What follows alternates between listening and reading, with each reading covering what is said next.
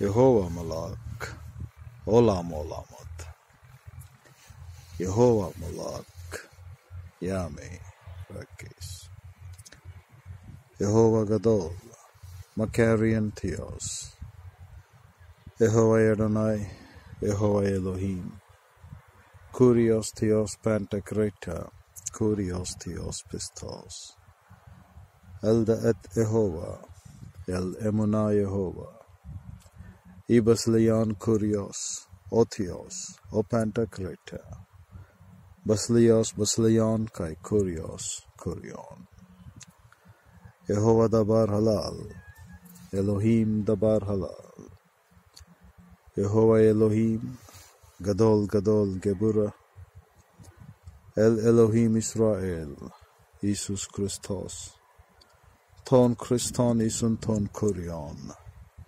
Kurion Nimohagion Pantocrator, Gadol Gadol Gebura. Zaan Logan Ogar Tautios, Dulas Desmios and Despotes and Jesus Christos, Kurion, Kurion, Kurion, Hagion, Hagion, Hagion, Gadol, Gadol, Gebura. Jehovah Ishmalkam, Jehovah Shammah, El Nakum Jehovah, El Nakum Yapa, Netzak Israel La Sheker, Derek Emunah Bakar, Shava.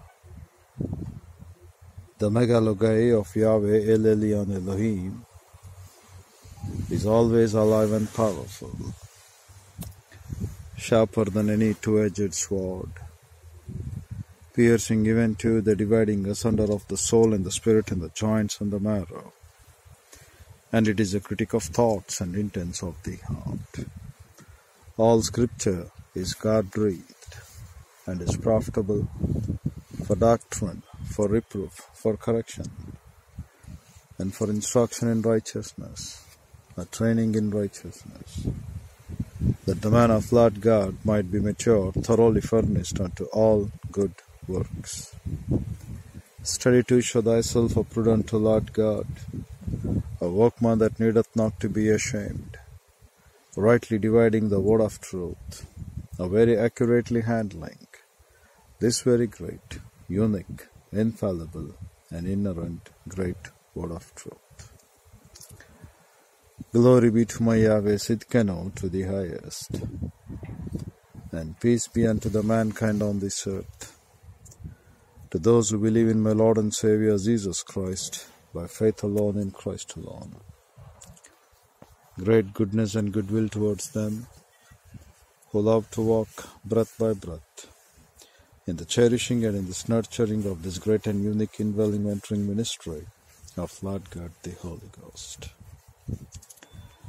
One more day being renewed in our lives to the praise of Lord God's glory, understanding the true glory of God the Father as we read in Psalms 79 verse 9 to cry out to say, Help us, O God of our salvation, for the glory of thy name, and deliver us, and purge away our sins, for thy name's sake. As we were looking yesterday, the word glory, it teaches you have to be a grown up grammatias, and that's what it has to be in your body, and that's what you have to make every thought to grow up to be a grammatias one in Christ. And here also we have saying, For the glory of thy name. The English over here for is not the Hebrew. The word for is being used, dabar. The Hebrew word dabar, which has been translated for, doesn't mean to say for, but it meant to say the word. So here it has to be word of thy glory in thy name. So the word dabar, which has been called to be for a matter or a word or an arrangement of the things, it meant to say it begins every thought in your body should be according to the thinking of Lord's mind. So that's the word he uses. Help us, O God of our salvation, word of glory of your name. Here, the word translated for doesn't give you the essence. So, glory and the word being together in the pictographical representation, it meant to say scribes have to be growing up through the word of God, and then the name of my Lord God will be glorified. If we haven't grown up to be scribes, if we haven't come up, then there is no true glory. And he further says, Deliver us and purge away. The word deliver again, it meant to say, not sell, and that meant to say to rescue. So, no matter the pressures of life I have in me, I will be thy disciple. So, deliverance will be for them who will be going to be the disciple of the Word of God. So now believing in Christ, we have been told, as John 1.12 teaches to us in very simple words, that we are called to be the teknia children of God the Father. So you are born, you have been given the power, the exousia authority to understand that you are now the great deliverance of God in the sense no matter how much of pressure it may be in your life, make up your entire body, mind, and soul to be the disciple of the Word of God. Because we have been stated in 2 Corinthians, we walk by faith and not by sight. Faith is the divine power of the Word of God having to know the word of Lord God, we don't have tension, we don't have fear, we don't have worry, we don't have anxiety, we don't have mental attitude sins because there is nothing that can fight against faith or the word of God. The Lord our God said, Heaven and the earth will pass away, but His word will abide forever. So the simple plea, humble plea of the word of the Lord our God all the time, which we as pastor teachers, bona fide gifted ones, should teach to you is that grow up as grammatias, joining as disciples. So God the Father will deliver those who are really intending to be or coming up to the consciousness to remember that they have to be the disciple. The same thing in Ezekiel chapter 3, verses 17 to 21, we have been reading. Two verses given to the wicked categories of the men, which is 18 and 19, and verse 20 and 21 is been given to the righteous standards of men. So here also we learn the importance, as such, how God the Father has made every believer to understand He is going to deliver them, those who are walking as disciples. Coming to be more specific, in John 1:12, He gives us this great reason that we have been given the exousia authority to become the sons of God. So the word teknia, again the same thing we look in Ephesians 5.1 as dear children, again in 5.9 as children of light, proving that which is acceptable in the sight of God, and forsaking all the things which are absolutely darkness, and having no fellowship with them, but rather reprove aglanko. And that aglanko process we have been studying. Behind every second of your thought, there will be 50 negative thoughts or 50 demons having to influence you not to come to the Word of God. Every second you literally calculate, there will be more than 50 demons operating behind you or having to influence you not to gather or to grow up in the Word of God. And by that we meant to say the lust of flesh, the lust of eye, and the pride of life, the world, the flesh, the devil, the unholy trio, or the unholy trinity to use the word. Trio means to say three. The world, the flesh, the devil, these three things. And they all come together so that you should not take in the Word of God. You should not grow up in the Word of God. Neither you should come back to understand what is a true deliverance in Christ. So that you can understand that if God the Father is the word of glory, because it is his name, that is Dabar, Kabod, Shamma, then Satan knows very well you will not care for it or you will not worry for it because you're going to enroll yourself in the faith. And faith is such kind of a greatest moving power of the Lord. There is nothing that can stand against faith. Because Apostle Paul teaches to us in 1 Corinthians 15, in 2 Corinthians 13 as well again, examine yourselves in verse 5 whether you are in faith or not, if not, you are reprobates. And the word faith meant to say doctrine. The same deliverance why God the Father gives you, not that you have to die like unbelievers. Unbelievers, he says in Ephesians 5, they're alienated from the life of God, from the life of God, so that they're walking in darkness. In Ephesians 4 17 and following, he says, Henceforth be not like unbelievers who walk in the vanity of their mind, but rather, he says in Romans 12 1, 2, and 3, to renovate the standards of our thinking, and to renovate the standards of our thinking, and to become that uh, great thinking through the original language of the scriptures, he says faith.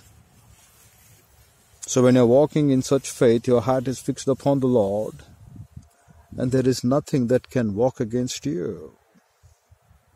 And every believer should understand, though the unseen intensified stage of the angelic conflict runs behind us, we need not worry even a millionth of a second in our lives when we are moving gradually from 30 to 60, from 60 to 100% of growth.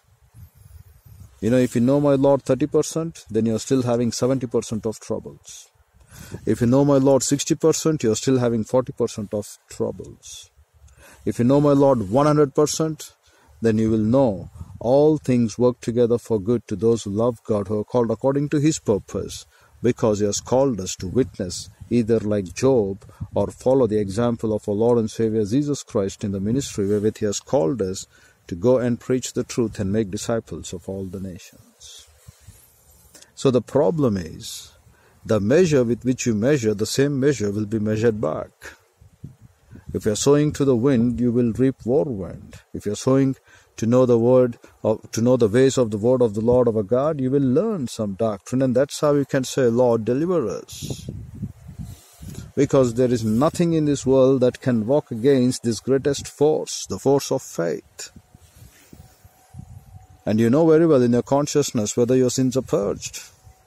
And you know very well whether you are having that right rapport with the Lord our God or not, because your consciousness all the time judges you.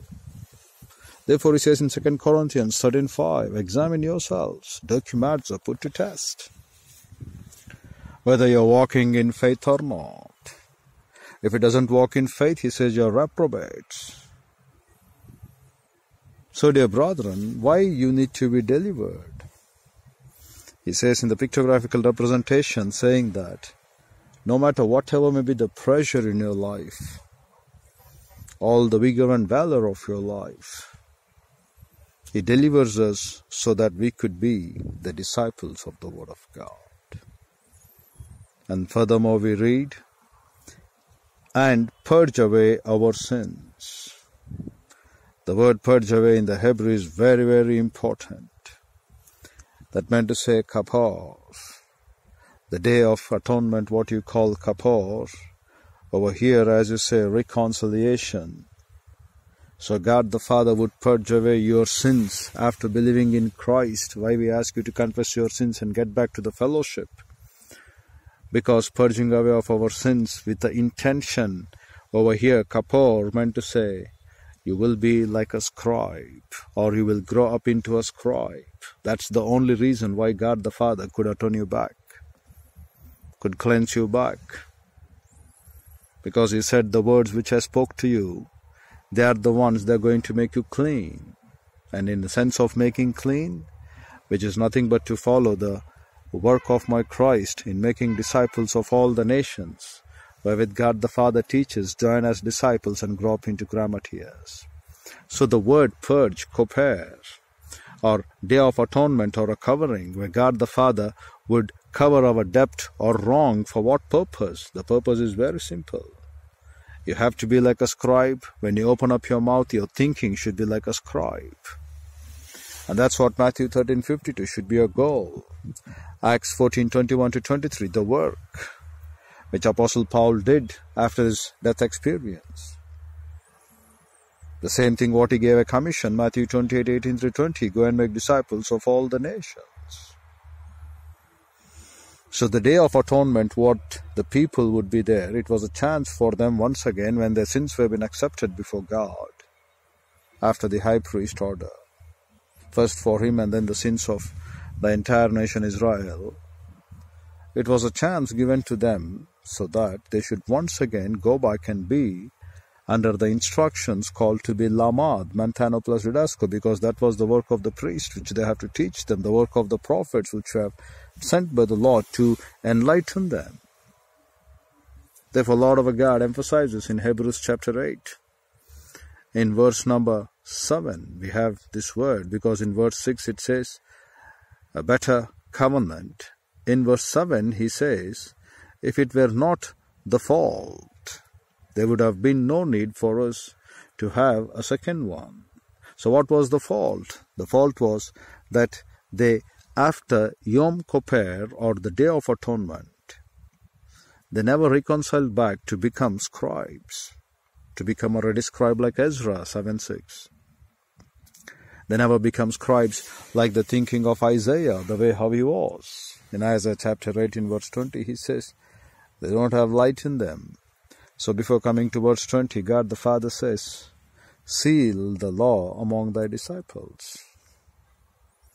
So they are not ready scribes. A ready scribe is the one who goes to teach. It will be every day fresh. It will be as good as natural, not like a hypocrite who acts. Because that's his great duty. His duty is to be like a scribe grown up, and his work is to go and make disciples. That's the natural tendency of him. The same thing what we look in Apostle Paul's life, particularly in Acts chapter 17, to an unknown God when he discourses. The work of him, he goes there again to teach. He's able to say, I will show you who is that unknown God. He goes to the synagogues. The same thing what Lord and Savior Jesus Christ did.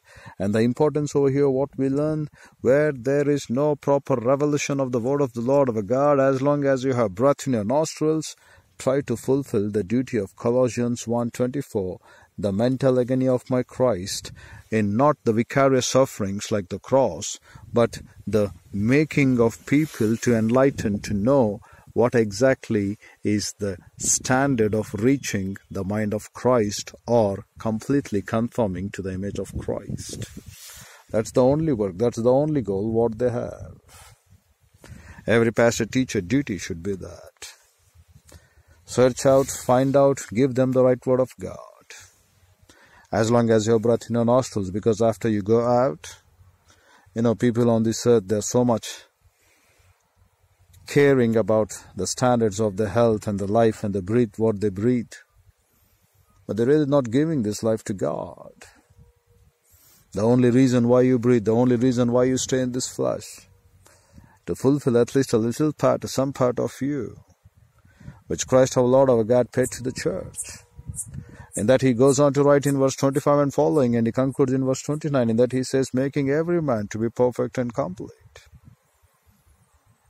The mental agony of my Christ, wherewith he was depressed, in Mark 14 33, he was amazed, greatly amazed, and he was depressed because he knew these people haven't reached the thinking of Christ. They haven't truly understood the word kofar.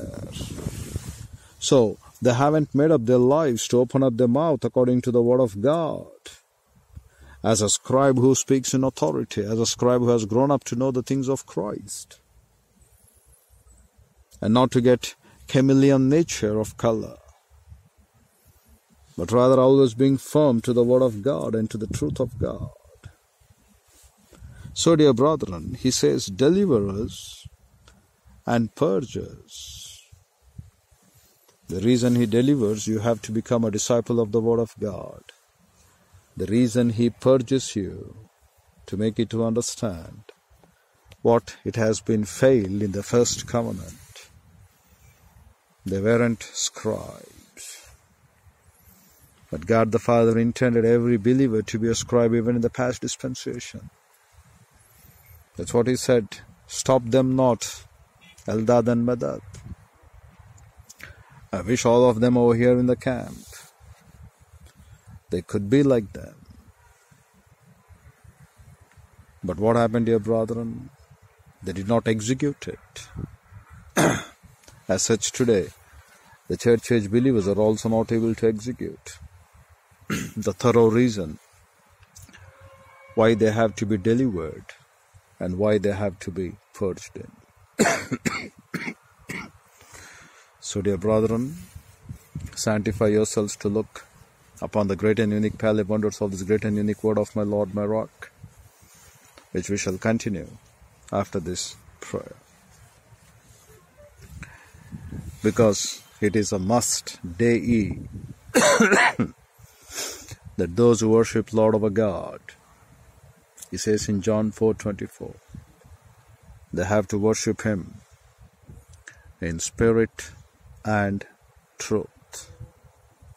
Under the controlling mentoring ministry of Lord God the Holy Ghost and biblical truth because Pneuma Theos is my God. And since He is Spirit, it has been Dei, it is a must that you have to worship Him. Under the controlling mentoring ministry of Lord God the Holy Ghost, under the standards of His truth. So, dear brethren, after this prayer, we shall continue what God the Father has prepared and kept for us on today's date in eternity past to learn from His infallible and inerrant Word. Infinitely divine Holy Father, what a great privilege it is, O Lord, to have fellowship with Thee through the Word. Every day you come up with grace, O Lord, as you said in Lamentations 3. Every day is a fresh new thing. Your compassions fail not. You give us a chance to become, to deliver us, so that to understand that we have to be purged thoroughly to become scribes with Thy word. Under that great work of Your grace, O Lord, much of the present Christendom is not involving to make disciples because they have not grown up into grammatias. Yet, Lord, you come up with grace to give them a chance so that the professing Christians, conventional Christians, nominal Christians, they should wake up to understand the real call of you on this earth.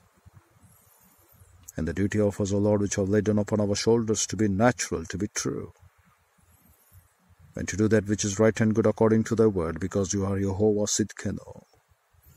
And when we represent you, Lord, it is nothing but what are the demands of the word of the Lord of our God, which we should expound to these people so that they could change their mind, renovate the standards of their thinking, and they could walk in spirit under biblical truth.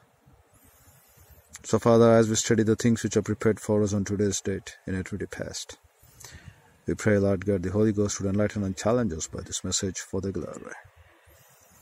In Christ's name we pray, Father. Amen. rather than worshipping Christ our Lord our God in spirit and in biblical truth. If few men love to walk in the oratory style or the gimmicks or the traditions of men. It's as good as to illustrate in a very simple way. Being natural is all the time natural, whether you have the sense what God designed to have a beard or the way how we appear.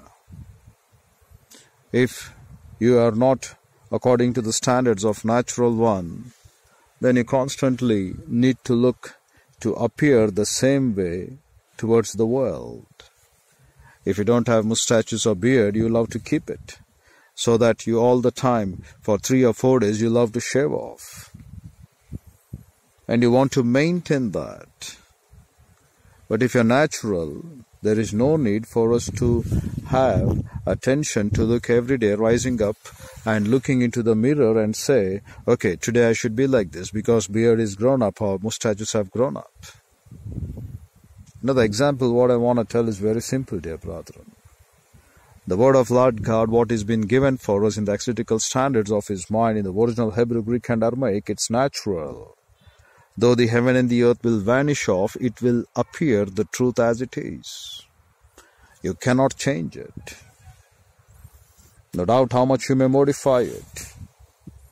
And today, the people who are trying to live under the influence of, under the influence of this denominational standards, they are like the way how they're trying to maintain every two or three days looking into the mirror.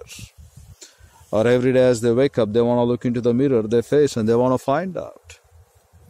But if it were natural, there is no need for us to look into the mirror. It would be the same. The trends and the traditions may change.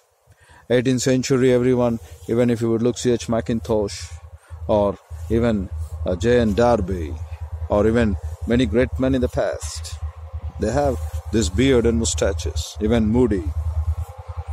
But when you come now, mustaches have gone, beard is gone. So people may talk. The traditions and the standards, they go on. For every hundred years they may talk. But a man with the naturality what he is. For example, from the time of Adam, how God the Father through the Bible, even he records about David incident about two persons whom he has sent out to spy. When they cut off his beard, they say, wait till there your beard could grow up. So, when we find the same word in Leviticus chapter 21, you shall not cut off the side hairs, let it grow naturally, not to be like a pagan's. So, in all of these things, when the naturality has been mentioned in your appearance to God, then how much more we have to be natural enough to the Word of God. Every day you love to look upon your mirrors. You know how it is. Mirror is your people whom you're addressing. And you love to impress them or your people who have appointed you to be in their church. So you should appear for them to be the same. You should appear for them to be like a pious gentleman and what all the attributes they have so that you shall not break them or harsh them. And you what, what you want to do, you give them, uh, daubing them with untempered mortar style of preachings. So if they say we are comfortable to come weekly once, so you change the order of the Bible into such kind of a way that they're comfortable. So it's like a mirror what you love to appear again to them. But if it is natural, you wouldn't care. Whether they hear or forbear, you would tell them this is the rule. This is the truth. You accept it or reject it, that's none of my business. This is the truth. And God the Father appoints us to tell you what is there in the Bible. And not to go on to be comfortable with the mirror or to be comfortable with the people. Whether they save you in the church or pluck you out from the church, what difference does it make? Because you're appointed, the Sharat orientation is from Jehovah Elohim. Our ministry has been appointed by the Lord God, not by men. So, if every minister would wake up to look what is natural, what is exactly in the Word of God, what is exactly the demands of the mind of Christ, then they would truly understand the prayer what we are reading from Psalm 79 9, wherewith he teaches the importance that the first one, saying, that, Lord God, help us. And why is mentioning the word help? That meant to say, the first word in the Hebrew called to be azar. Already, if you would look in the previous verses of this chapter, he begins with saying, Lord, that the heathen are come into thy inheritance, thy holy temple. They have defiled, they have laid Jerusalem on heaps. And when he's praying this, the dead bodies of the servants, the men who give their life to preach the word of God, they have given to be meat unto the fowls of the heaven. We read this word, fowls of the heaven. Every time we come you to remove your stumbling blocks, we come you to ask and to listen the word of God. Satan comes to divert your mind. That's what we were looking yesterday as well. For every second if you are being handed over in the sense of targeted by Satan, one like 85,000 fallen angels, in the sense like that Assyrian camp which came. if you would calculate for every second, you will get minimum 51 demons behind you in the sense negative thoughts not to concentrate on the word of God. On the other hand, if you are into the hands of Ahithophel, though he has been called to be a pastor or to be a prophet at that time, and his word was like the oracle or the word from God, he's, uh, he is taking with him 12,000 men. And if you would look over here, it would be two or three demons or three demons at a time. Because if it has been given in the hands of the standards of the unbelieving section like Satan, you will have upon you 51 different kinds of demons which are constantly making you not to concentrate on the word of God. On the other hand, if you have been given into Ahithophel kind of men where he demands give me 12,000 men wherewith I can go and smite King David because now you are called to be anointed one of the Lord. Every believer is been made, Revelation 1 6, to be kings and priests for Christ. So here, since you have been there in the standards now, false pastor teachers who do not have the bona fide gift, who love to look upon the mirrors to be impressed, not the natural thing in the word of the Lord of a God, they will come and they will put upon you minimum two to three standards of false teachings which can completely divert out your mind. So this entire things, either 12,000 from the false pastor teachers or 1 lakh 85,000 under the guidelines of satanic thoughts because anything which you don't have from the word of God is purely satanic. Therefore, we have been stated again and again, you shall know the doctrine, and the doctrine shall set you free. That's very simple, dear brethren. Whether you believe it or not, or believe or consider it or not, the fact is so simple in truth if you are not been found in the word of the Lord of a God, you make it sure that the fowls of the heaven are being all the time making your churches or you to be out of the word of God and from the plan of God. So here, dear brethren, he says in verse 1, O God, the heathen are come into thy inheritance the temple of the living Lord of a God, what we are now for Christ, it has been taken over by the heathen. Heathen in the sense who do not know the word of God. Or your mind or your body or your thinking has been absolutely opening up your mouth, which is not in accord with the word of truth. Let's go back and ask a Christian, what is the hope you have in Christ? To answer back, First Peter chapter 2 or chapter 3, you find that if anyone would come and ask you, what is the reason why you believe in Christ? Then you should be well prepared to tell them the reasons why you believe in Christ. And this is the will of God the Father, he says.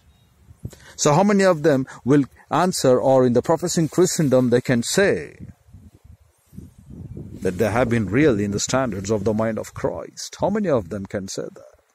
How many of them can defend? How many of them can fulfill the verse of 1 Peter 3? Or in fact, how many of them can really tell they're carrying their cross every day and following my Christ? Carrying the cross every day doesn't mean to say you just take a log. No carrying a cross meant to say every day, preparing in your mind to come back and first take in nothing but the word of God, whether you drink water or eat food or not, that is none of your business. But first, morning by morning, as the word of Lord God cometh to waketh you up to learn the word of Christ, be prepared to go and gather of your word of God every day. So that's the cross. First, giving not your time to the word of God. First, taking not the thinking of the mind of Christ in your world you cannot go. So, how many of them are really carrying their cross every day? But you know, the mirror looking pastors or the way they love to impress every day, the same way how much, whether they have the mustaches or beard or not, so again they have to shave it. Because they have to maintain that to the world. So they look constantly to the mirror. A natural one will be a natural. He doesn't need to look into the mirror. He doesn't even care about the hair to be combed. Because as natural he is, even though they talk about him after thousand years or two thousand years, it will be the same natural because God designed it. When what you're what you're planned, you're planning yourselves for every hundred fifty years, the fashion of the world, the trends of the world, the things of the world to change. Some would come with such a hippie cutting, some would come with a bald head.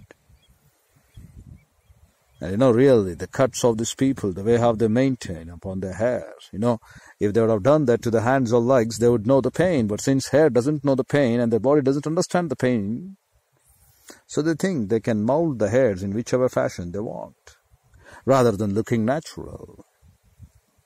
And they say we are dignified. We are really following the standards of Alexander because he was the one who came up to shave off the beard because the soldiers would be killed in the war.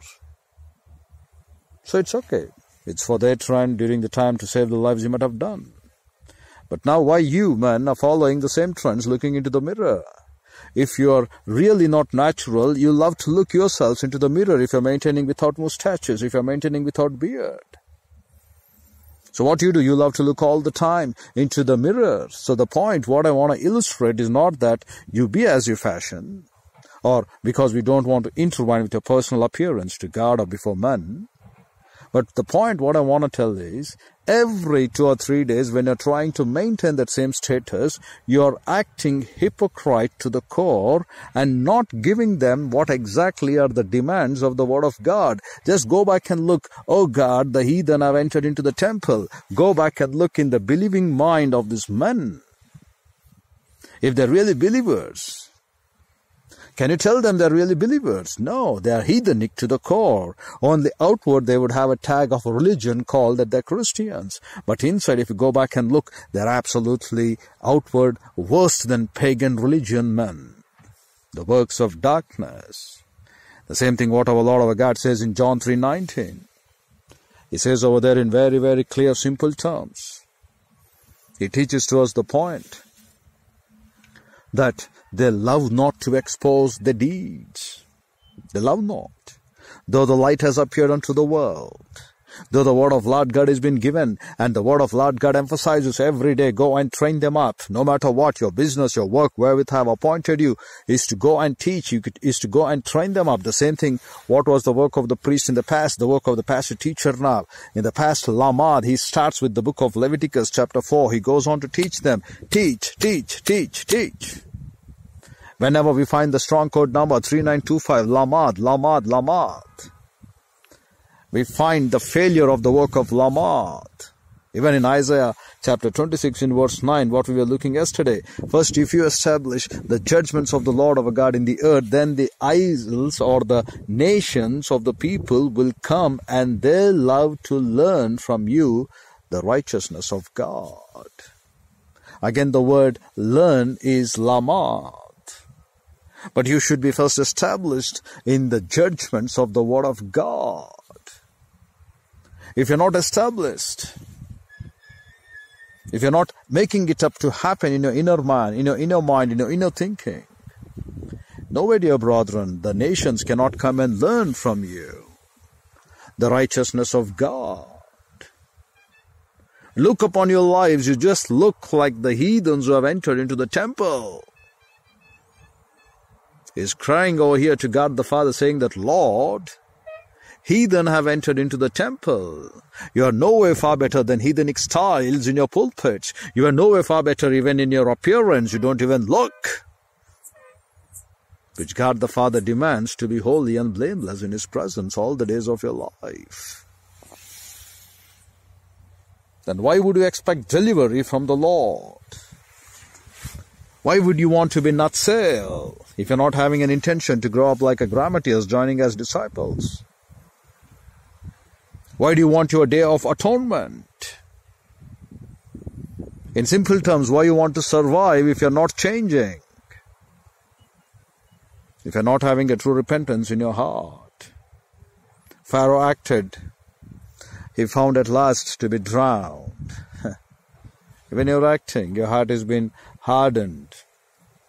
He showed to them ten plagues. The first three plagues they copied and they thought they could be great.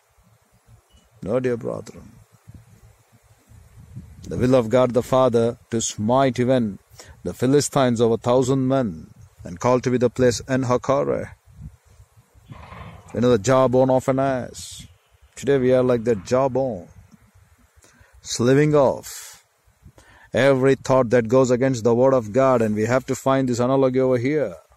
If Ahithophel would get 12,000 men against King David, and we calculated that for every one hour, for 12 hours in the morning time, again 12 hours in the evening time, if ever you go 6 to 6, the Hebrew school of thought, again from evening 6 to morning 6.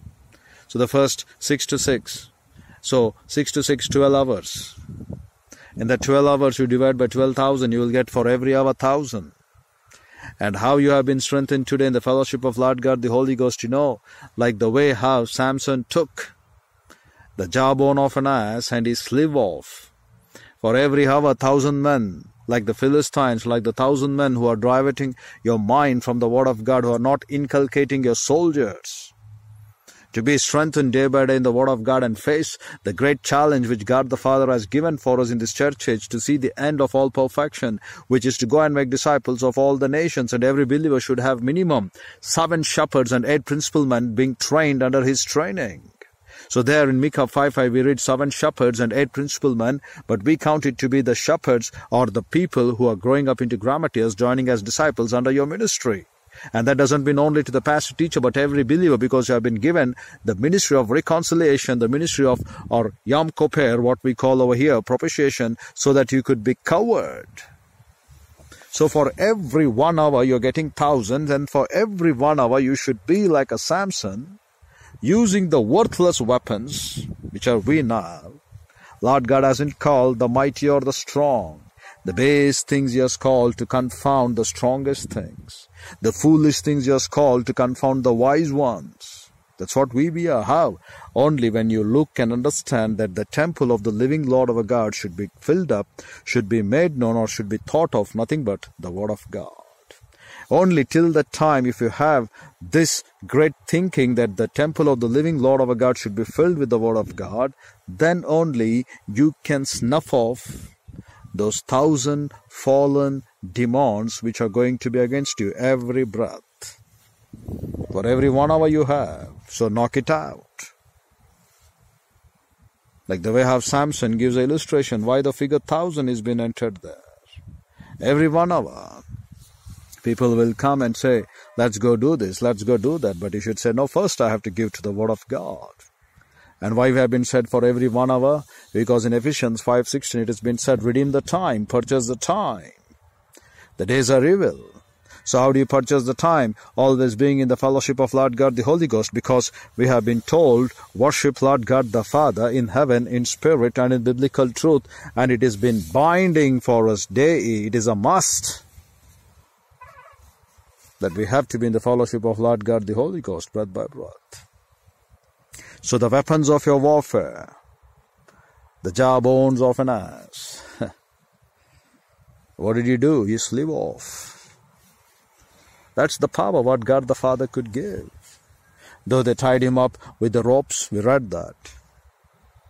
They were like a flax melted off in the viewpoint that you are going to take a decision to go now as a disciples, growing up into grammateus. Now, if you want to look again in Judges chapter 15, because in one of our tape we covered that. This is what it happens over here, beginning with verse number 7 and following. Though you done this, yet will I be avenged of you, and after this I will cease. So he goes, he smote the hip of the things of the foxes, he ties the tails, and then put into the fire. And now he said, in verse number 12. They said unto him, and he goes on to the mountain, the things happen there, you can read it. We are come down to bind thee, that we may deliver thee into the hand of the Philistines. And Samson said, Swear unto me that you will not fall upon me. The word fall is called to be, saying that you will not encounter. A paga, we read the word. So, in your mouth of your standards of your strength or in your viewpoint, you will not fall on me. And they spake unto him, saying, No, but we will bind thee fast and deliver thee into the hand, but surely we will not kill thee. And they bound him with two new cords and brought him up from the rock.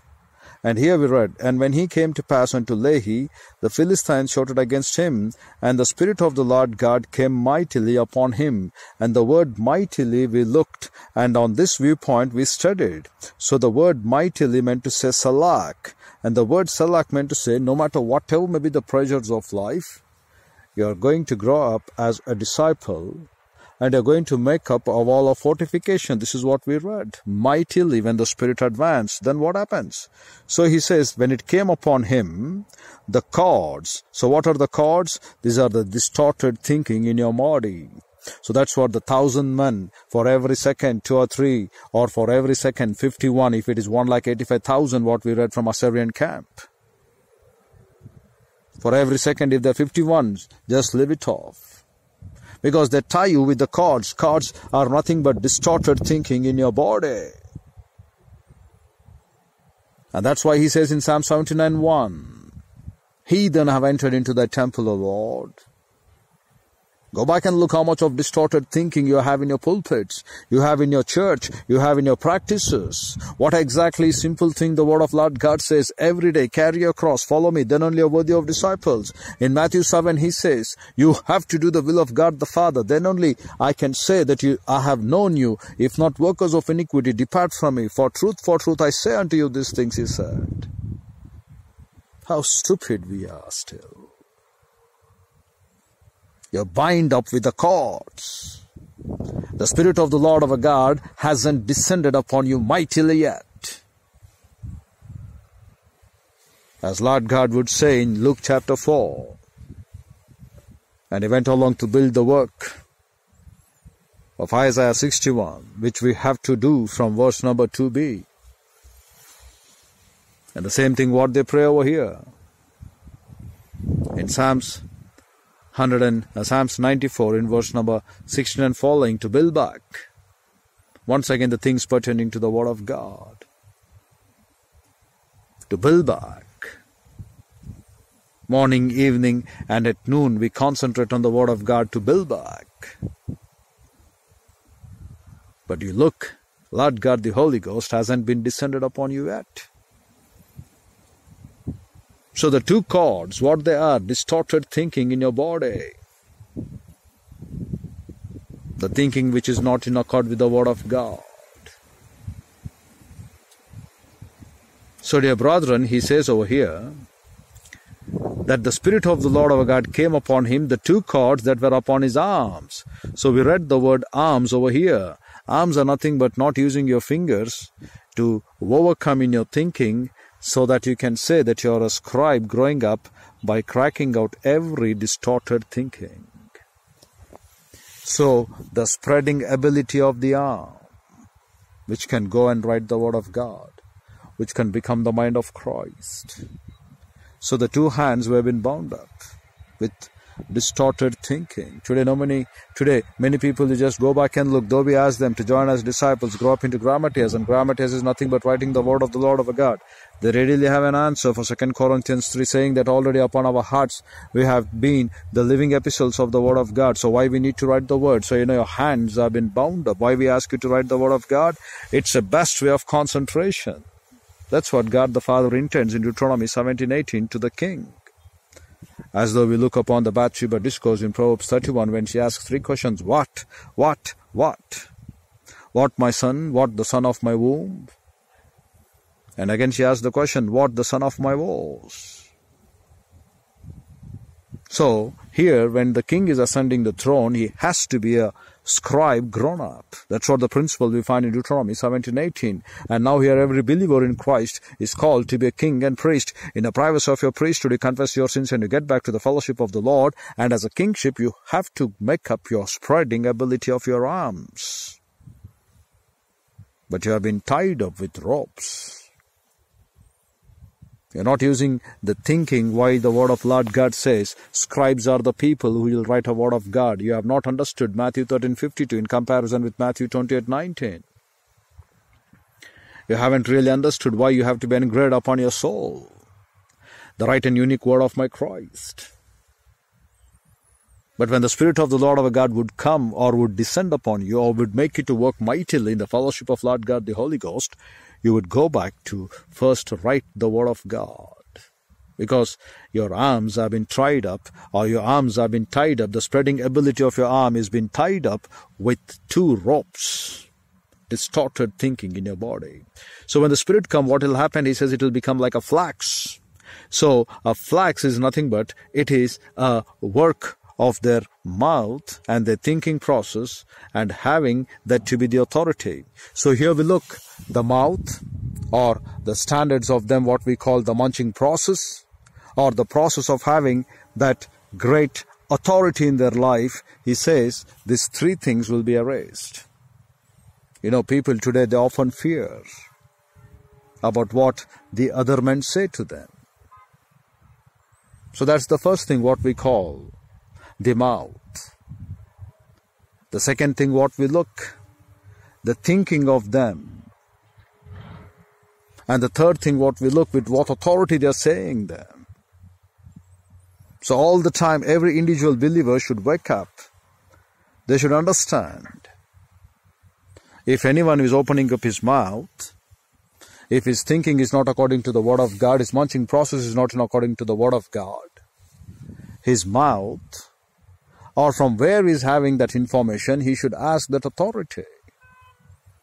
Because he has in himself the standards of making curtailed or having to follow some denominations, having to follow some uh, visions or some other things which are stupefied because now no visions, no prophecies what you have in the completed canon of scripture, that alone you have to take in and do it now. And that you have to dig the word from the original Hebrew, Greek, and Aramaic. So, like flax, it meant to say, as the opening of the mouth of their authority, the thinking process of their authority, whether they have taken it from the original Hebrew, Greek, or Aramaic, or they have taken from some other stupid translations. And with what authority they come? Do they come with the authority of the word of the Lord of a God, or do they come because God Father has not sent them, yet they have come running, he says in Jeremiah 28. If they would have come by me, if they would have been sent by me, they would have made it to learn the counsel of the entire word of God. But since I haven't sent them, yet they ran for themselves. So here we understand the beauty, saying that flax. So dear brethren, the Hebrew word for this flax is called as pisteh, P-I-S-H-T-E-H. And that is just like a fiber material. But here we have in the pictographical representation the mouth of them what they talk, the munching process from where they gather, and the authority with which they talk. So these three things the mouth, the munching process, and the authority. These three things from where they have come. So he says, when the Lord God, the Holy Ghost, will ascend, so he will go back like a scribe.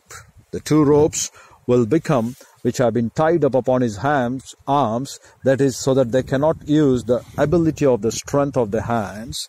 It will become like a flax. That means you question their authority.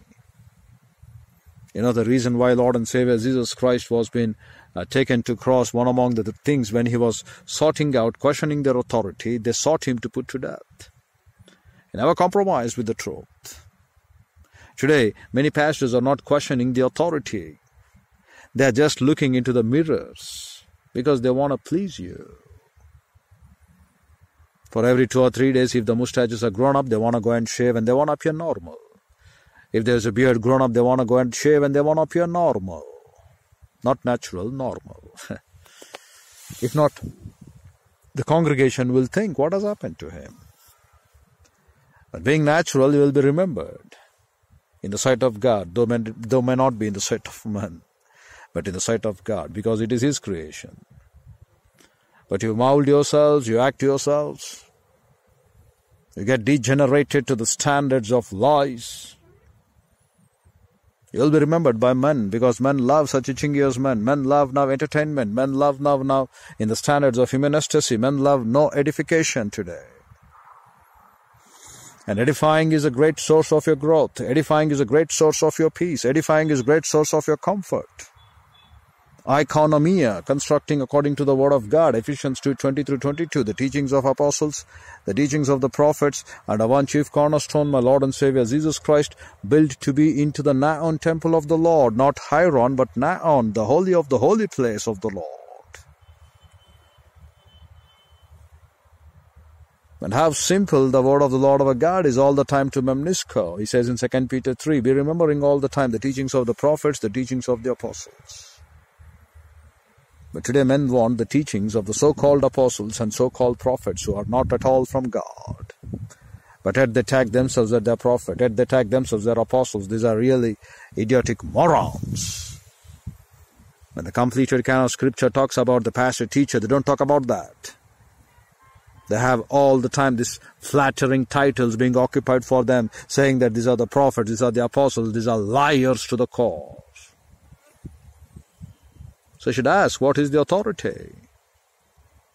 And he says that was the burnt, it was the flax was like a burnt one. And why does it be like a burnt one? Because now in your entire body you wanna see and take nothing but with proper inspection the word of God. That's the word fire.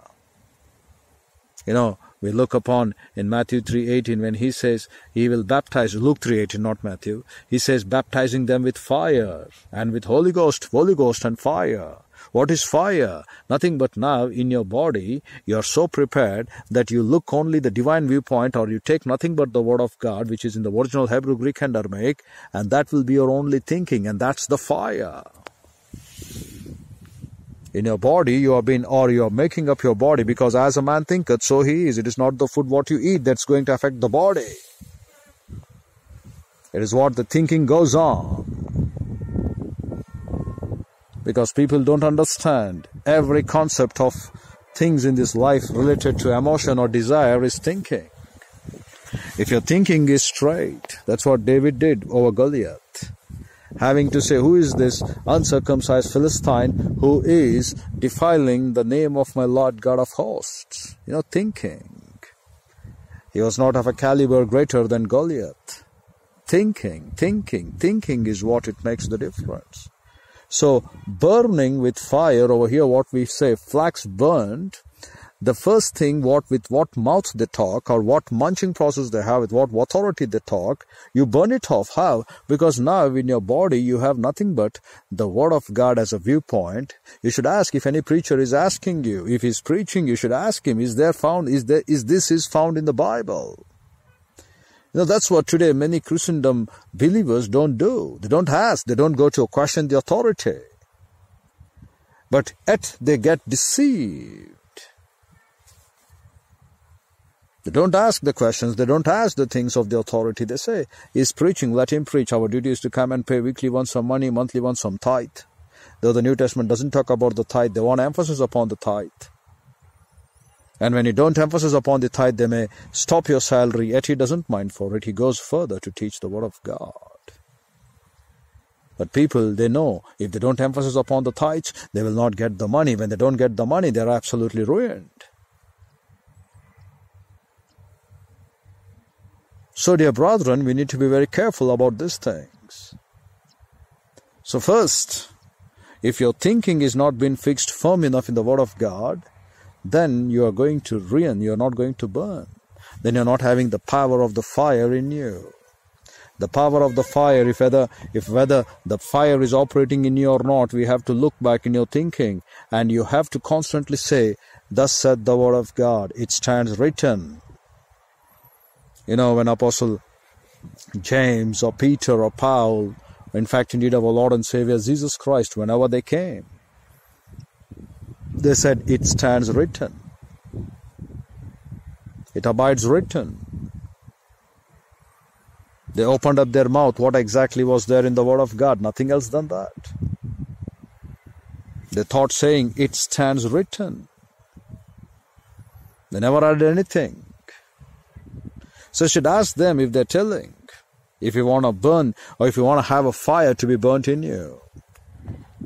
Because already your temples have become heathenic to the core. You have to be the temples of the living Lord of a God, but your temples have become heathen to the core. It will be burnt off at the judgment seat of Christ. As such, how you are going to construct your home whether it is with gold, silver, precious stones, or wood or stubble, it will be burnt off. So prior to that, first you burn now the cords which have been tied to your hands by becoming a scribe. Carry out all of this distorted thinking in the fire to be burnt off like a flax. So that you ask them where you get this word. Where is there in this authority you're talking about? so that you should know first what is the word. You know, much of the failure in the present Christendom is that people have not read the Bible, even in the translations. And they think the program to run 52 weeks, in that every one hour of preaching, if it is a solid one or not, minimum one hour they go to in the entertainment or emotional standards. Just imagine how fast a reader can read.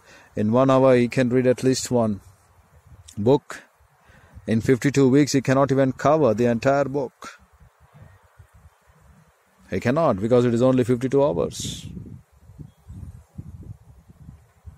So, in that 52 hours, he tries to teach you all mannerism of entertainment or prosperity gospels, blessing gospels, comfortable words.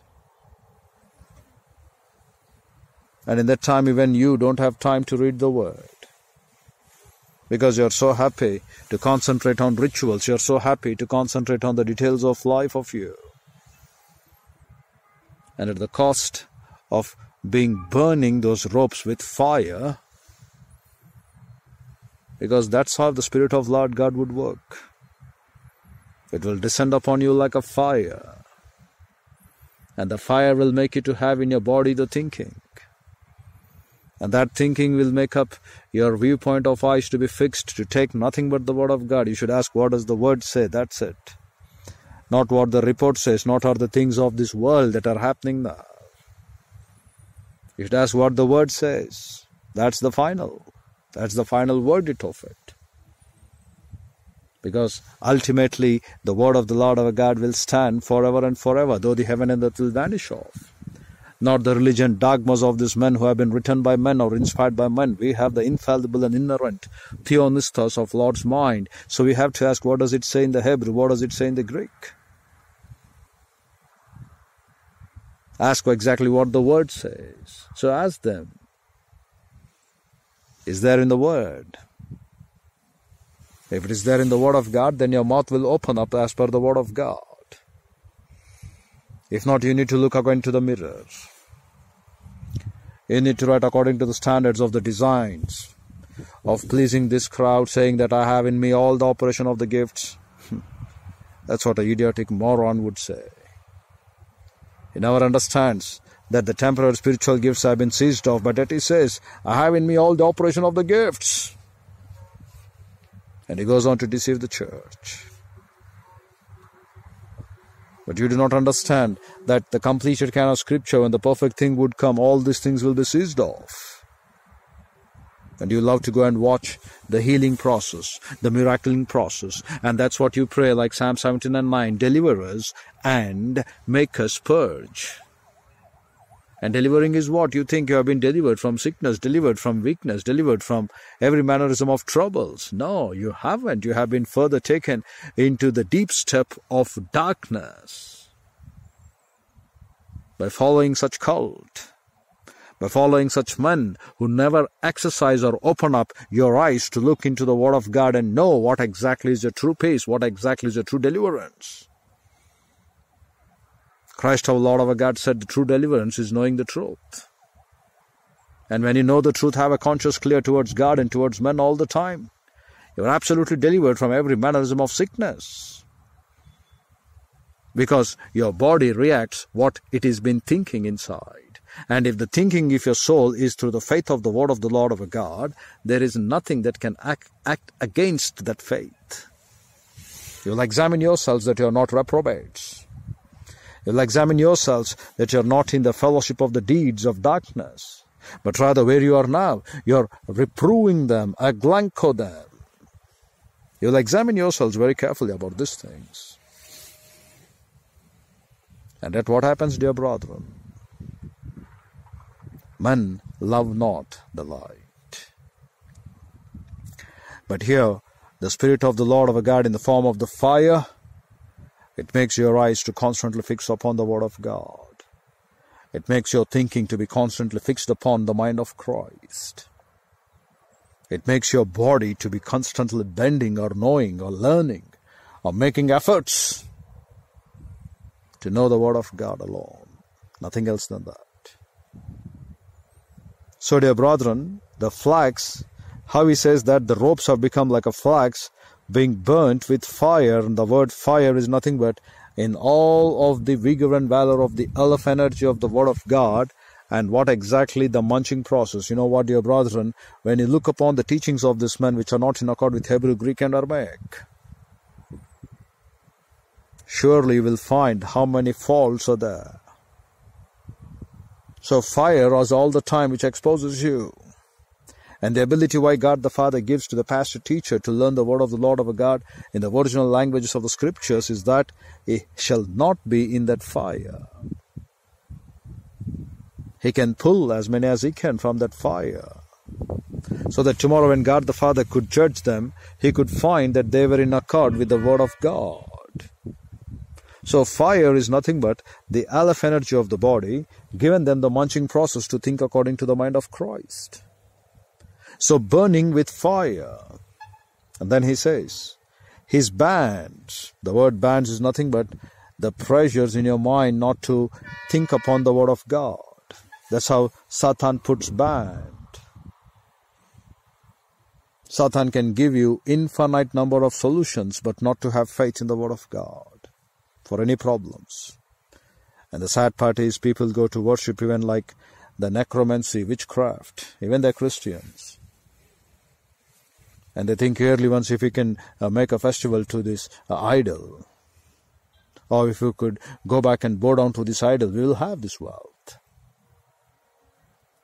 Now the bands which are tied up. First the ropes, now the bands. That's what exactly you find. The bands is nothing but the pressure in your thinking. That's what we are asking you to be very alert, every second behind you. If it were by the counsel of Ahithophel, false men who are not in accord with the word of God, who will not make you to grow up into gravity as joining as disciples, at least two or three behind you. If it were like the one lakh eighty five thousand counsel of Satan against you, make sure you will be having behind you 51.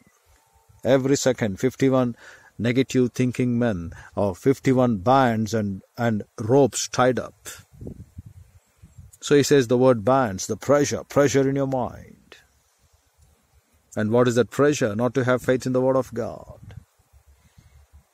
So he says, first, the ropes were become like flax and burnt with fire, his bands were loosed. And the bands were loosed in the sense no pressure. And his blood also couldn't find any pre- any pleasure, any pressure, but rather they were melted off, they dissolved off. And from where they were dissolved off from his hands. So the things what they tied up, they became free when power of Lord God the Holy Ghost would come. The same thing with your life as well. You have been now on this earth, thinking that you are the temple of the living Lord God. No, you are not. You are into the hands of Ethan. Therefore, they have tied up ropes, they have put bands. The powerful fire of Lord God, the Holy Ghost, is not melting away because you don't open up your mouth to ask them with what munching process you're speaking in authority or what is the thinking in their body so that the thinking process in their head or viewpoint of life could be fixed with the word of God. You don't ask that, so you're not burning them with fire. So, dear brethren, he says that when the Spirit of the Lord our God came mightily upon Samson over here in this case, he says, the cords were upon his arms became as flax that was burnt with fire, and his bands that were loosed. And now he finds the word found is matzah. and this is what his blood encounters. What does he find? A new jawbone. The word new is called over here as tare, T A R I Y. And the word meant to say fresh. You know, every morning God the Father comes up to give His fresh grace upon us. Morning by morning they have been renewed. Fresh, fresh, fresh. So God the Father, what does he find? He finds through this Samson a fresh new jawbone. And the word that which has been containing in his head now, which has filled in his basket through the word of God. And the word jawbone is called again the thinking, dear brethren, as leke, L-E-C-H-I-Y. And leke over here meant to say that he has found a disciple oriented man who has built up his wall of fortification only to become the disciple. So when he has found such kind of a leke one or who has been established with the things pertaining to be a disciple oriented to God and has built up his wall of fortification, that's the jawbone.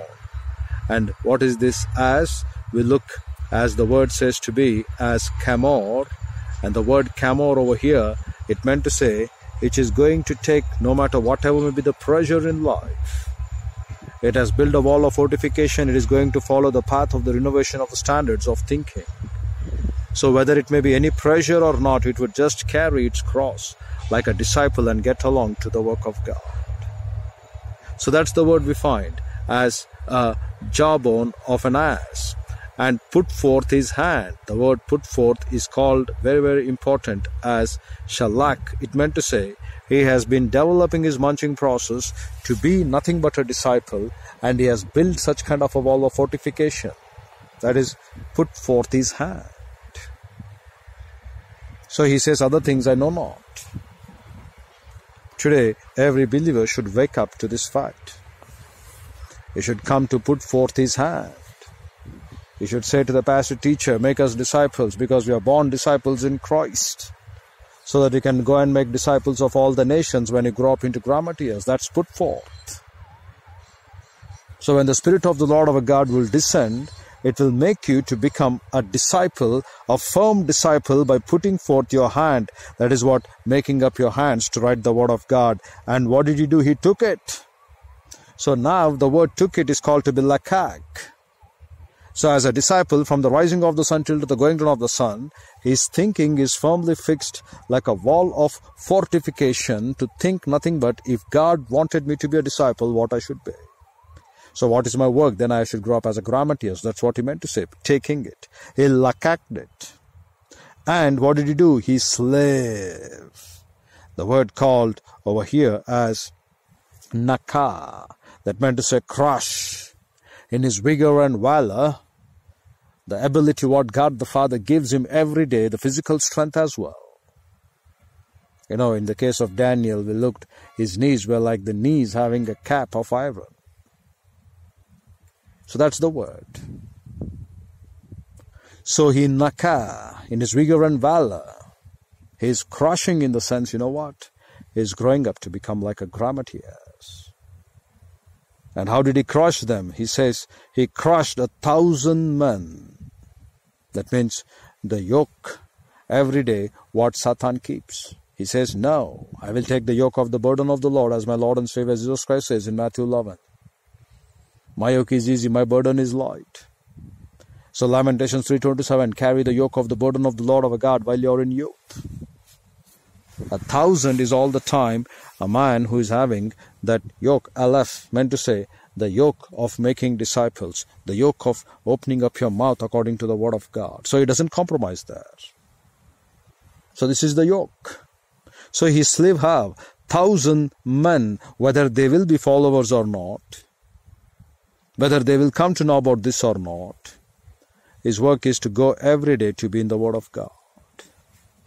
So when he has been taking in every day everything according to the mind of Christ, he reaches the figure called to be thousand. And then he says, With the jawbone of an ass, heaps upon heaps, with the jawbone of an ass, I have slain a thousand men. That should be your song in this pilgrimage. The jawbone of an ass, what we read, which meant to say, making up the ability that you will be like the standards of a grown up Grammateus joining as disciples, having that uh, wall of fortification. What do you make? You make heaps upon heaps. That meant to say what? You go on to be shamer them or kamora. It is a origin of the word, but it has to be kamar. That meant to say he has heaped up. He has put them in the standards of heaps upon heaps. Kamor, kamor. Every day, every breath of your life, in every one hour, thousand men should be heaped up. And by that we meant to say when you are growing up into disciples, all the time having in your mind to join as disciples and growing up into grammateus, thousand men of fallen angels, they should be heaped up. They should say, saying that this man thinks nothing but the word of God. So we cannot fight against him because he goes in that great system of faith. So heaps upon heaps, every hour, heaps upon heaps. And your song should be, as he said, jawbone of an ass. That is like the slaves unto Christ, what he has kept for us. We come over here every day to gather in the word of God. And as we're gathering the word of Lord God every day, we come to be in the standards of growing up in grace, in the standards of making up the things pertaining to as our blood to be the disciples, as our blood to have thinking of the word of God. So like that with the jawbone of an ass, I have slain the thousand men. Every hour, that should be the tagline. Every hour, fallen angels should look thousand men fallen apart. Because you know every hour you're going to give to the Word of God. Every hour your thinking is as a disciple. Every hour your thinking is like a grammateus in Christ. And then in verse 70, it came to pass when he made an end of speaking that he cast away the jawbone. That means you're no longer like a disciple, but you'll be grown up into a scribe and called that place Ramath Lehi. And the word Ramath Lehi meant to say that the height of a jawbone. So every time you win that tower, it should be as a Ramath Lehi. And afterwards we look, he was sore athirst because it's a great physical combat. But now we have our spiritual combat. So the angels came to minister unto my Christ. So in the same manner, God the Father keeps his angels all the time to provide you the things needed in your life. So need not worry about that. So he was sore athirst. The word meant to say he was having that great kind of a thirst because of that work what he has done and called on the Lord and said, You have given this great deliverance. Here uses the word great again called to be Gadol. That means in his structure he has edified every thought to be like a disciple in Christ. And the word deliverance is called to be Sha'ah, what he has made the munching process according to the viewpoint of the word of God. So he says, You have given this great deliverance into the hand of thy servant. You know, the word, what we call servant, is abad, meant to say they go on to do continually the same witness every day. It's a great deliverance in the hands of his servants. So he makes his eyes to be in the standards of his body, in the work of nothing but getting every thought into captivity for Christ. And now he says, And now shall I die, mouth for thirst? and fall into the hands of the uncircumcised. But God clave an hollow place. You know, when you do the will of Lord God the Father, as the way when Hagar cries to God for the water, now he makes between the two lines of this jawbone of a ass, he goes on to put a hole. And through that hole that was in the jaw, there came out water. And when he had drunk, his spirit came again, and he was Kaya, loving to live 2421 so that he can become now 2425, but he failed. So wherefore he called the name thereof En Hakare, the word meant to say over here, saying that spring of one calling, and then that and occur unto this day. And he judged, the word judged over here he called to be mishpat. Again he brought the thinking process of those men to be according to the authority of the word of God.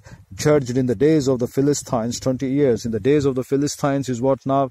The days of Satan being the prince of the power of this air. So the days of your life that you're going to live, he has put over here 20 years, but you know very well, till he could finish the work of the Lord of our God, he's going to keep you alive no matter what. So dear brethren, when we have such kind of a great work for every one of a thousand heaps upon heaps which we need to put, and God the Father would deliver you out. He would make a hollow place which is not possible. They can get the jawbone of an ass and they can get but hollow place they can make a hole. But who is going to provide the water? It is Lord God. As the way how he provided the food through the ravenous nature crows to Elijah. As the way he opened up the rock and split the water to them. As the way he made the waters to be divided asunder.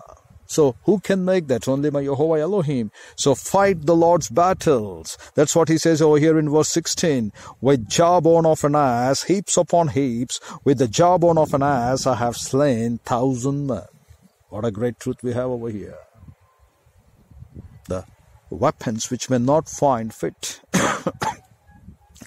as someone would say, mightier than the swords, it is a pen. Like the same thing, we are not into the battle of the physical combat, but to become the pen of a describer, the tongue.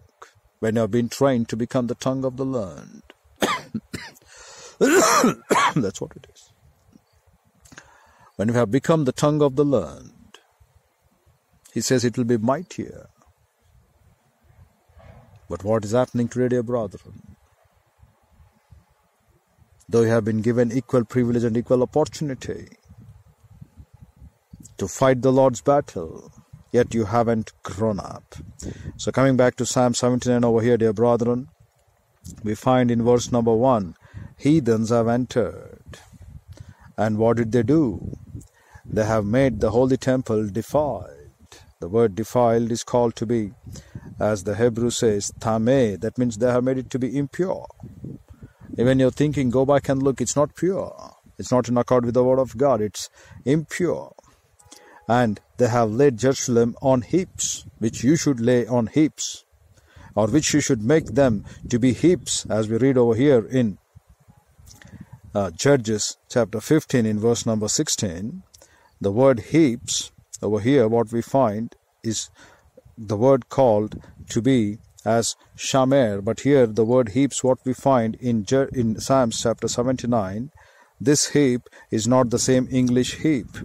Here you find in Psalms 79 in verse 1 as heaps, the word is called is not shamer, but the word is called to be ie or double E, what you call. And the word double E is nothing but they have made the men to be distorted thinking. But there it meant to say, you have made their thinking with a wall of fortification in the blood to be according to the word of God, which they weren't, so they were fallen into heaps. You know, if you don't match the word of God, you are being judged. The answer with our Lord of God is whether yes or no. You have to be compared yourselves to the Word of God. If you're not found according to the Word of God, then it's no. So that's the heap, what we collect there as a jawbone of an ass. But now over here, the heap says they have filled the holy temple with distorted thinking. That's the word difference between shamer and ia. So how did they fill up? They fill up with distorted thinking. That's what he says. So they have filled up with heaps. The dead bodies of the servants they have given to be the meat unto fowls of the heaven, and the flesh of the saints unto the beasts of the earth. You know, here we find two categories. The servants are what they have to be the pastor teachers who go on to give every day the dead bodies like a meat. You know, death working in us, but life is working in you, said Apostle Paul. The same thing over here. Against the fowl of the heavens, the teachings today, what you have in you, dear brethren, they are distorted. They are not having according to the word of God. These are the cultist thinking what you have. So this is the what we find against the angelic conflict in this angelic conflict against the fallen angels. So the fowls of the heaven is what all the time Satan goes on to give that which is not right. It goes on to corrupt your thinking. That's what the work of Satan is. The way how it deceived Eve, so it should corrupt you. So Apostle Paul says in Second Corinthians, we are not ignorant about the cunning fables of Satan. So that's what the point. You should grow up as a pastor teacher. It is not that you have a power to say there is a demon. No, that's all stupid. Look into the Word of God. If it doesn't match with the Word of God, you know very well it is the fowls of the heaven what they have done, the cultish work. But your body is like a dead body given to them as a living sacrifice. Why? Because he says the dead bodies of the servants. That means every day life should work in you, but death in us. That means day by day, constantly giving you to renovate the standards of your thinking according to the Word of God. You know, that's why God the Father has even preserved the body of uh, Moses. You know, that's his servants. He knows very well how to preserve them because their bodies have been working for the work of God. So he says, Unto the fowls of the heaven and the flesh of the saints, that's what you believers, you are to the beasts of the earth and beasts of the earth we read those who have not born again in christ that is 2416 they have only a normal life but not born again yet you try to give them your life so that they could believe in christ and be born again. So the beasts of the earth. And then in verse 3 the blood have they shed like water round about jerusalem and there is none to bury them. You know we try to give you every day the word of god but there is none who loves to care for silly, stupid things and for idiotic phonography in the smartphones or in the YouTubes. They have millions of subscribers, even for your cracking of idiotic jokes. But when it comes to the Word of God, there is no one who would even look the blood which we have been shed like water. So he says, There is none to bury them. We have become a reproach to our neighbors. You know, that's what it happens. For other men whom you have to be a director, whom you have to make them to come back and learn the righteousness of God when the judgments of Lord God have been established in you, maybe they should teach them. For them you will become a derision. The neighbors you will become a reproach. That meant to say, your thinking is not in accord with the word of God, that's the key. And then the neighbors you will become a scorn. Scorn meant to say, they ask you, are you a disciple? They ask you, where is the, where is the sign of a discipleship in you? Show it. So it'll become like a scrawn. So he says over here, it'll become like a scrawn and derision. The word derision from the rising of the sun till the going down of the sun, you will have all the time when they ask you, Are you not a disciple? So you'll be pressured up. So he says, To them that are round about us, How long, O Lord, will you be angry forever? Shall the jealousy burn like fire? Till he could come back and confess your sins and purge your sins till the time this will be of it. So pour out thy wrath upon the heathen that they have not known thee, and upon the kingdoms that have not called upon thy name, for they have devoured Jacob and laid waste his dwelling place. The reason why the heathen they have come, he says, because they have neglected the word of God. That's what we find over there when he said to them, if you neglect the word of God, if the thinking of my Christ has not been established in you, then quite obviously you will find enemies. The people who whom you don't uh, think even of, they will come, they will rule over you. He said in Deuteronomy 28 and Leviticus 26, the same thing repeats over here. So they cry. But actually, the temple should be taken care by the pastor teachers over there. And verse 8, remember not as our former iniquities, he says. And let thy tender mercy speedily prevent us, for we are brought very low. The word very low is called to be in each and every thought of the vigor of life they have come that they don't be the disciples. The word low is very important over here, dear brethren. It meant to say over here as dalal. The word dalal meant to say their every viewpoint of life what they're going or every thought what they're getting into the door is not a disciple. So they say that we are very low, we are not the disciples. Now they cry, Help us, O God of our salvation. And the word for the glory of thy name, the word we read for, the bar kabod and deliver us and purge us away our sins. And that is what reconcile us again so that we could be disciples growing up into grammateus for thy name's sake. And they say, Wherefore should the heathen say, Where is their God? Let him know.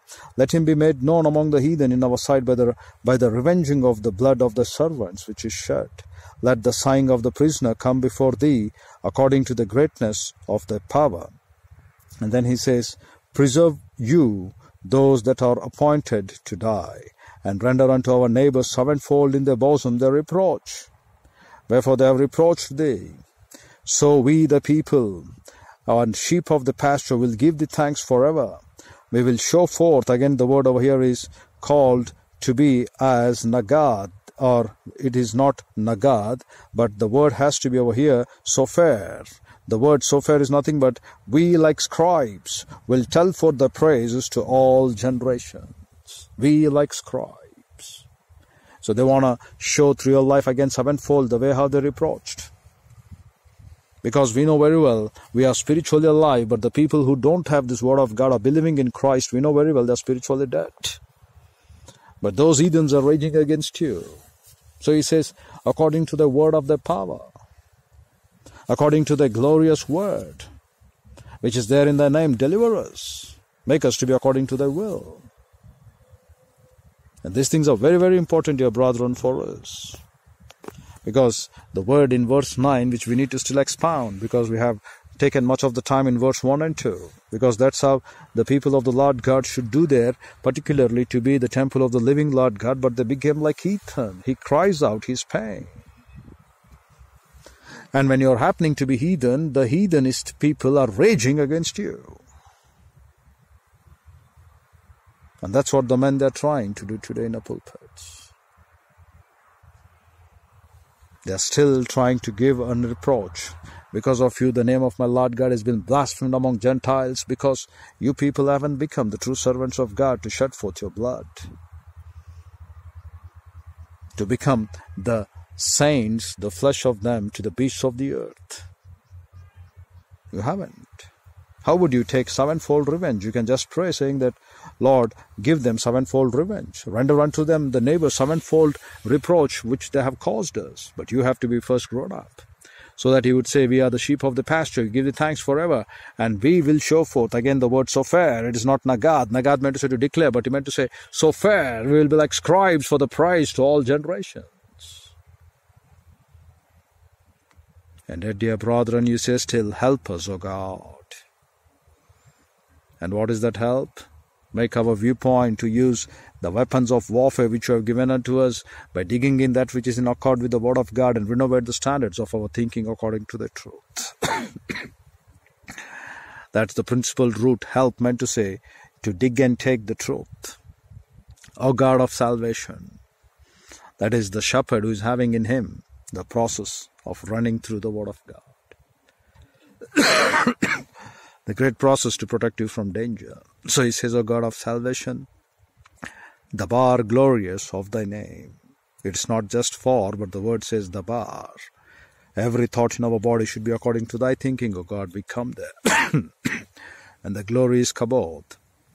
The word kabod meant to say disciples, disciples grown up into grammateus this grammateus having in their body to get every thought into captivity for Christ. So he says, Glory according to thy name. And then furthermore, deliver us, so that we at least now will become thy disciples, and reconcile, make an atonement, kafir, so that we will be like scribes, having our mouth to be opened in your thinking, and our sins which have been there, which we have built up a wall of fortification against thy word, for thy name's sake, he says, purge us, because you have given us this grace to repent. If you don't have this prayer, dear brethren, and what for you need to pray, not just that you're going to live a life of peace, no. So we will be the people and the sheep of the pasture. We will give the thanks forever. We will be scribes of thy praise to all generations because the heathen are raging and they're coming against thy word, and you render them sevenfold when we become thy grown up grammateus joined as disciples in Christ. Dear brethren, if you don't come back to become the day of atonement in Christ Jesus, our Lord, what He has established, then your sins are not being purged. You die in your sins. And Lord God said unto them, Go and sin no more. Here he says, When I have reconciled you, I want you to be a scribe, opening up your mouth according to the thinking of the word of the Lord of our God to all generations. That's kofar. But if you're not coming to that, your sins are not thoroughly purged, and there is a sin unto death wherewith you shall die, he said in spite of repeated, give, repeated warnings given to you to grow up into grammateus, joining as disciples and fulfill Matthew 13:52 in your life, so that you can have a life of great peace, so that you can become a scribe of His righteousness, in spite of repeated instructions given to you. Yet you neglect the Word of God. You're answerable to my Christ. And at the judgment seat of Christ, you cannot plead ignorance or arrogance. Today is the time for you to come back, to become the servants who have shed the blood for Christ. The death works in us, life in you. The vicarious sufferings we cannot. The mental agony of my Christ, Colossians 1 24 29. A little part from my side to the sufferings of Christ, which is the great evidence of token that in nothing you shall be hindered, but in everything you shall use your flesh and body and mind and spirit and soul to the glorification of God the Father to the highest. Like the jawbone of an ass, heaps upon heaps. Taking them to the Word of God, searching, you don't find them matching, you put them as a heap. Not on the Jerusalem heaps where they are found to be distorted thinking of AE, the word what we read but shamer, the word which says that has to be korma upon korma, heaps upon heaps, the jawbone of an ass. Lord God should say every hour, using us, heaps upon heaps. If it is like a Ahithophel counsel or the Assyrian camp, If God be for us, who can be against us? The only thing, do not grieve, squelch, wax, lie, or resist Lord God the Holy Ghost, but rather be under the control controlling mentoring ministry of Lord God the Holy Ghost, and fulfill the demands of the word of the Lord of our God, so that you could be a great good pleasure to God the Father, opening up your mouth when the Spirit advances in you through fire, in making the right word of Lord God to be established, to look natural and not to look to impress men into every two or three days into your mirrors. Dear brethren, think over these issues as we shall come back and continue tomorrow, as Lord God the Holy Ghost leadeth us to the praise of His glory in His grace. With our head bowed and eyes closed, the closing moments being dedicated to those who are without Christ, without hope, and without eternal life. Inaudible telling to Lord God the Father in the privacy of your soul that you believe my Christ, my Lord, my rock, my Savior. That's the moment itself you shall have this eternal truth. This eternal truth for is so very simple. Believe in Christ, you shall be saved. Whereas for the believer, the greatest matter is to grow up in grace and the knowledge of Bible doctrine. That you shall learn to acquire to possess know the truth, and the truth shall set you free. And for the pastor teachers, the greatest matter is to carry Satan Lagan. Herald the word in season, out of season, because from witnesses which have been called. The number one diamotroma witnesses in willing Trinity, followed by Bible in our hands. And number two diamotroma witnesses are hearers. If there are no hearers, dear brother, not worry besides nature. The entire angelic host will be witnesses. And what is our work? Our work is to rightly divide the word of truth, no matter however the chips may fall. So which way you want to go, dear brother, and you decide, as we shall come back and continue tomorrow. As Lord God the Holy Ghost leadeth us to the praise of His glory in His grace. Infinitely divine Holy Father, what a great and unique privilege it is, O Lord, to have fellowship through the Word. Father, you're going to deliver us and you're going to propitiate, as the word Kofar goes to say. Those are ready to make disciples growing up into grammateus joined to the will of God. Yet, O Father, much of the people are not able to realize the importance of being delivered into the standards of your true calling in the church age. Yet, O Father, according to thy grace, give them the word of the Lord our God which could enlighten them and which could call them to the reverential fear of thy truth, that if they are not disciples growing up into grammateus, they will die in their own sins. So help us, Father, to teach the things according to thy will, as it has been given for us in the word, in the original Hebrew, Greek, and Aramaic. Strengthen us more and more, educate us more and more according to thy truth, so that, Lord, we could speak nothing but the truth, because you have called us into thy glory for thy work. In Christ's matchless, peerless, gracious name we pray, Father. May Lord God, the Holy Ghost, enlighten and challenge us by this message. In Christ's name we ask, Sovereign Lord. The Lord God, the Holy Ghost, enlighten and challenge us for your glory. In Christ's name we ask, Sovereign Father. Amen.